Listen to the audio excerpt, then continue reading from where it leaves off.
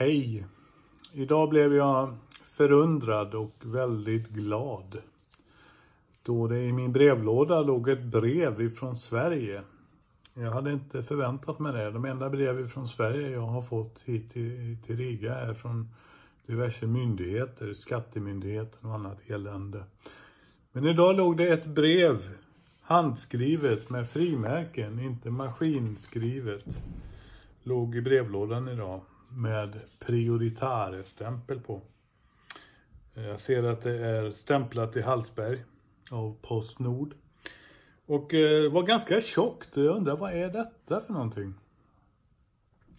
Även om jag vet att jag retar upp en hel del i etablissemanget så misstänkte jag inte ens att det var en brevbomb i brevet. Men eh, som ni förstår så var jag ganska angelägen om att öppna det. Så jag började öppna det när jag gick upp de här fem trapporna där vi bor. Och hittade då ett handskrivet brev där i. Eller ja, maskinskrivet men underskrivet av en person i Sverige som heter Tor. Och jag läste det och han skickade med en bok, ett häfte som hans far har skrivit en gång i tiden. Som handlar om varför, därför är rubriken. En gammal bondsmeds funderingar och minnesfragment. Det här har alltså hans far skrivit år 1973. Eh, och det handlar om hans funderingar, precis som rubriken säger. Och eh, jag ska säga så här till dig Tor som har skickat det till mig. Jag ser fram emot att läsa vad din pappa skrev 1973. Och eh, det här med hur Gud prat, talar till en. Idag så råkar jag ju öppna den här skriften. Tryckt i Falköping 1973. Som Evert hade skrivit då, Tors pappa. Och eh, slog upp sista sidan. Och där hittade jag den sista meningen i det här häftet. Så får vi gå vidare i trygghet. För den som älskar Gud samverkar allt till det bästa. Skrev Evert. Så det sista han gjorde i det här häftet. Innan han skickade för tryckning i tryckeriet. Och det där slog an i hjärtat på mig. För det var ungefär vad jag kände då att det här ordet var till mig faktiskt.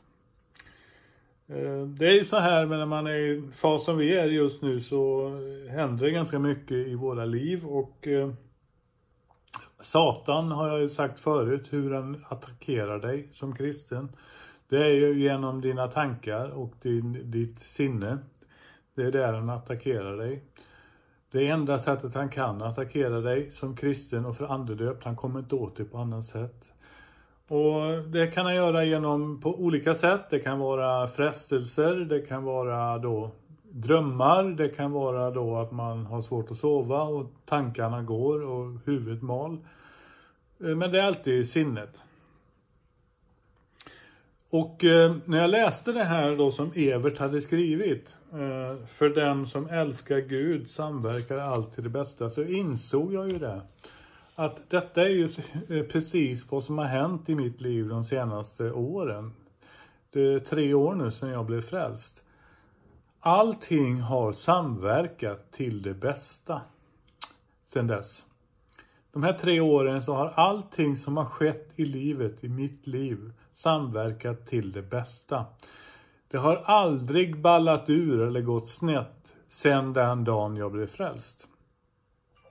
Och jag kan säga till er det att innan jag blev frälst då var det mycket av den varan att det gick snett, ordentligt snett, ballade ur, eh, förnedring och eländes elände, elände.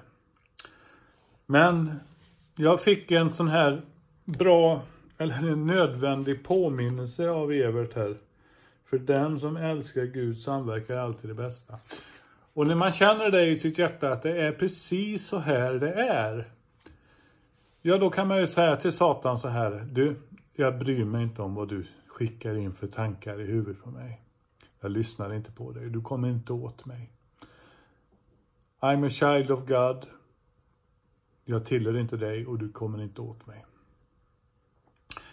Och jag kan väl säga så här. jag får ju en hel del eh, kommentarer på mina videos. Eh, och en del av dem är riktigt otrevliga. Det är folk som är demonkontrollerare som jag känner eh, skriver någonting. Fyllt av hat, fyllt av eh, ja, Satan, Satans ord. Och så de där brukar jag ta bort naturligtvis. Jag raderar kommentarerna och jag blockerar personerna som har skrivit dem. Och då var kontrasten så enorm när Tors eh, brev kom idag. Eh, med den här lilla häftet i då som hans pappa har skrivit. Och det var, för mig var det då en, en sån personlig sak att skicka sin pappas berättelser, tankar, funderingar och minnesfragment till mig, en total främling som har emigrerat från Sverige och bor i Riga. Jag tyckte det var mycket fint gjort. Och jag blev riktigt, riktigt rörd och jag sa det till min fru också. Titta här, sa jag. Hon kunde ju inte läsa brevet, men... Jag ska läsa den här, det här häftet, Tor, med eh, glädje och med stolthet. Vad din far funderade på. Vad han, hur han som gammal bonsmed tänkte. Och vad han kom ihåg ifrån sitt liv som eh, troende kristen. Eh, en riktig gudsman har jag förstått att han var. Och eh, jag vill tacka dig Tor, jag vill göra det offentligt bland alla. Eh, du ska veta att eh, din gest att skicka det här till mig var väldigt uppskattad och jag kan bara säga så här, Gud välsigne dig och eh, ha det bra. Tack ska ni ha.